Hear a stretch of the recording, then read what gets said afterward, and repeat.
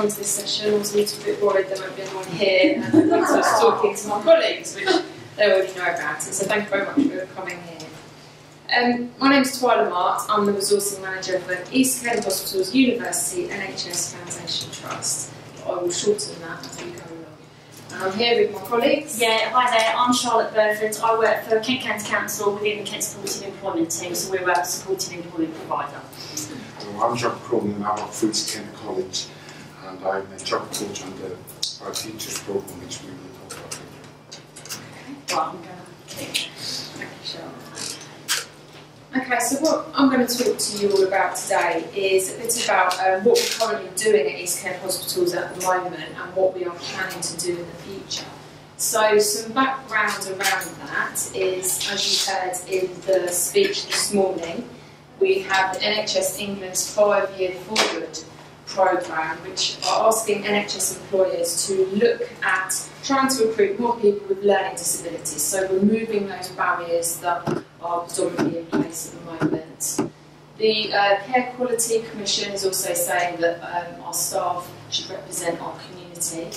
And you all met Daniel Marsden presenting this morning. He's done some research which was published in the HSJ to show that if you employ more people with uh, learning disabilities, it can improve patient experience.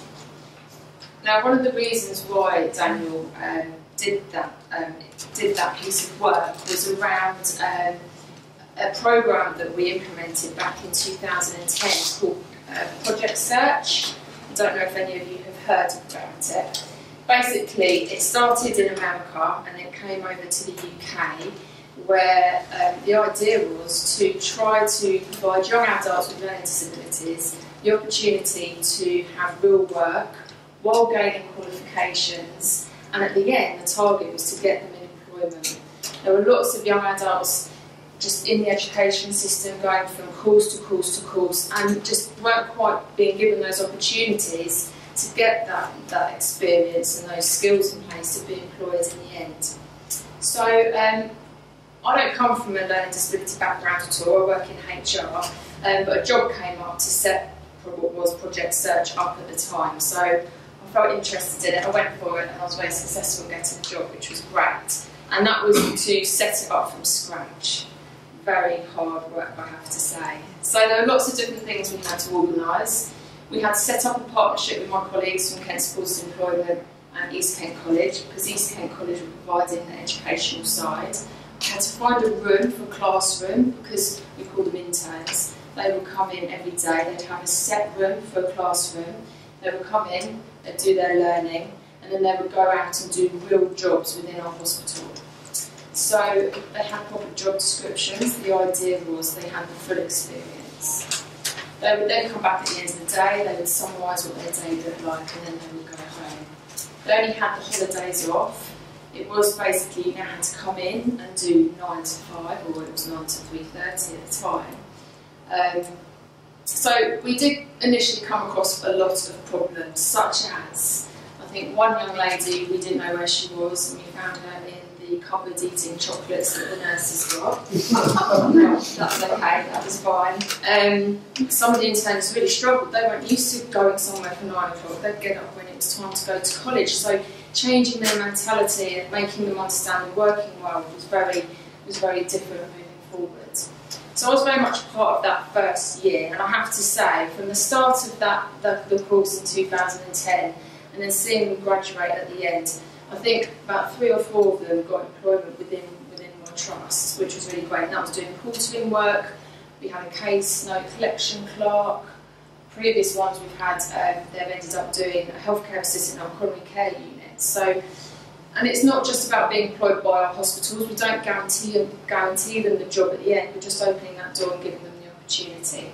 So other individuals have got jobs outside of the trust as well, which we see as a success. So we're now just about to start year six. We interviewed yesterday, we had an assessment day, so we're now six years on, and it's changed. So we now don't come under that umbrella of Project Search. We've, we've learned, we've adapted it where we've needed to, and we now call it Bright Futures. So created our own logo, As a partnership, we've evolved very much so as well. Um, and we have looked at, at opening up to people with physical disabilities as well, just learning disabilities. So very much dependent on um, on their entitlements, which I'm sure Charlotte can talk to you a bit later about. It has evolved it, and, and we are where we are today with it. Okay. So I'm now going to ask if Charlotte wants to talk about the Kent support. No, sorry, John. To talk about the college path involvement. Um, the course is accredited by LASER and it's, it's, it's set at level one and it's a 20 credit course. Um, if I talk you through a little bit about um, the, a week in the life of an intern actually the Bright Futures course at this moment in time. At this time, we work on, everybody works Monday to Friday. And Monday tends to be the academic day where people learn um, theoretical skills about gaining employment, how to write a CV, where to look, where our jobs how do I get on the job ladder, what do I have to do, down to um, lots of different modules within that. From Tuesday through to Friday, people are actually working on wards, doing real work, um, working alongside different members of staff. As in the hospital, just as Twyla alluded to, there's many different types of jobs that people actually do. At present, we are working in the ambulatory care units, coronary care units, A&E services. We just got into A&E services, very busy environment, but our work is really appreciated in the our members of staff. And we do courtroom jobs and actually work within of the chefs in the kitchen as well as the um, canteen are lots of people like to work. If people have an interest in working in catering and bringing them through, um, people throughout the year will get three different areas where they can actually work. There's three 10-week blocks. And if people have an interest in catering side, we back that up by trying to get people um, basic food hygiene certificates. We do online courses and people and support people through that. There is two job site, two sort of job coaches mainly on site at all times, and we're actually there to support a person whilst they are actually working in whichever area they actually want, wanting to be in.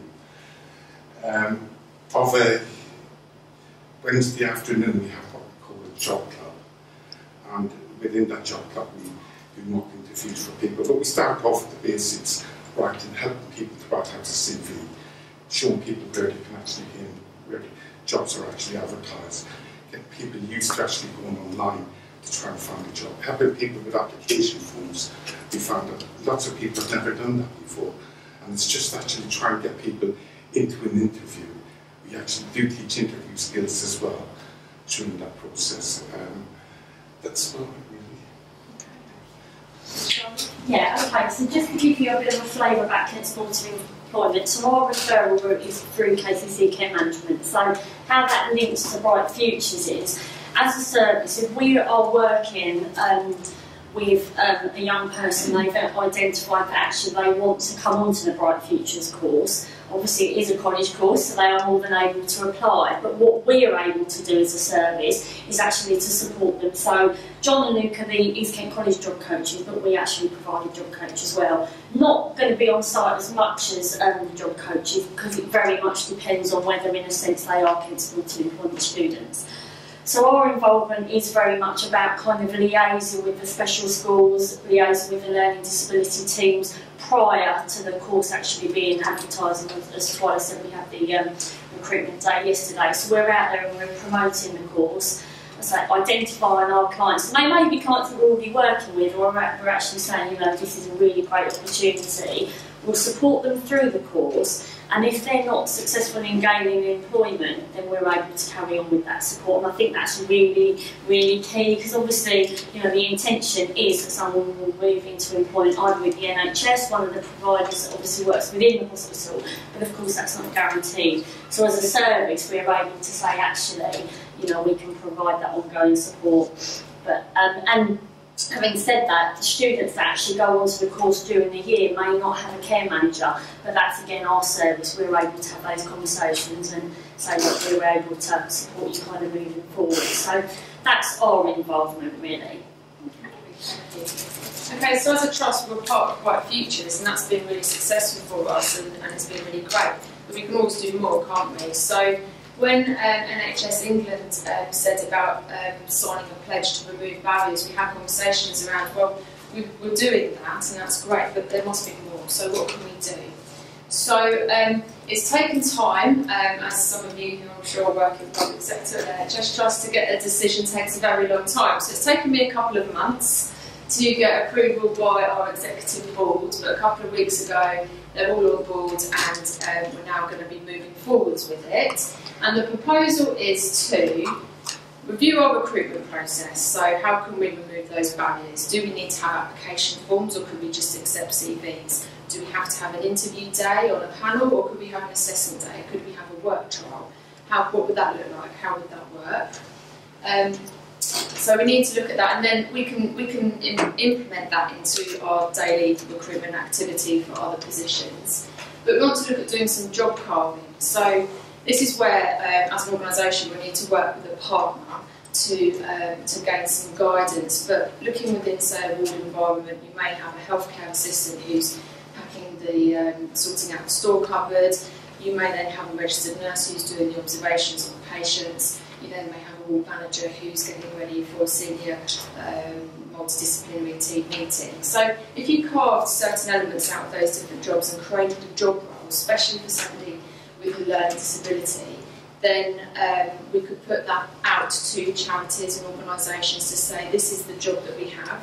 We would band it, make it what level the salary is, and do you have anybody? And then with our adapted recruitment process, we would move forward with that.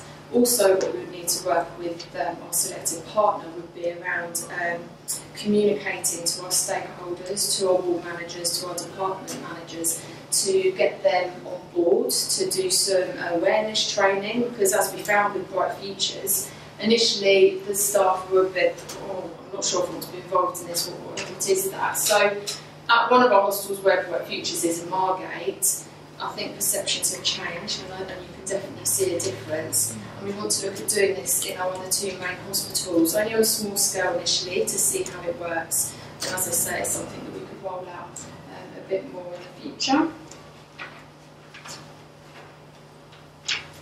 So um, also part of what can we do uh, moving forward is around I've spoken, I, I say to you that Bright Futures is a success, but actually we've not been recording the numbers, we don't know how many people have got employment once they've left Bright Futures, because um, as a trust, we don't have access to that. So um, Daniel Marsden is going to do some research looking at that, which um, I'm sure he'll get published in the end, but that would be really useful to share with everybody once that's done as well.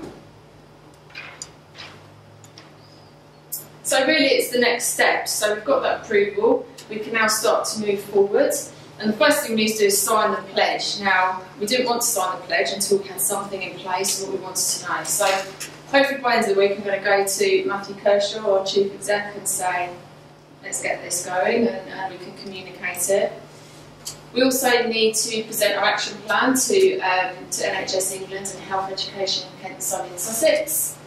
We need the resources, resources excuse me, to evaluate the uh, Futures and moving forward with the job carving that we spoke about. And also it's really important that we share what we do um, with everybody so that if other people want to do things similar, or vice versa. If anybody knows more about job carving, it would be really, it would be really good for us to know. And that is